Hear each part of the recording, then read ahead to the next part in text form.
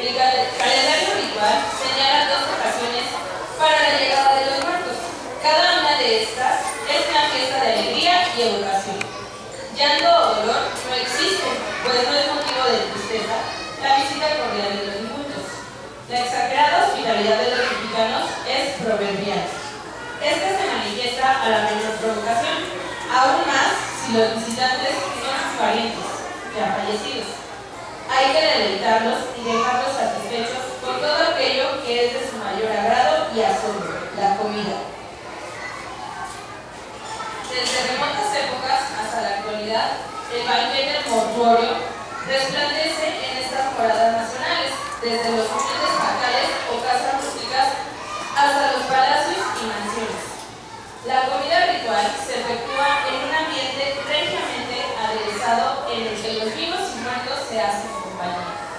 Cada pueblo y región ofrece variados diseños e ideas para este evento, pero todos con la misma finalidad, recibir y alimentar a los invitados y convivir o tal vez con morir con ellos.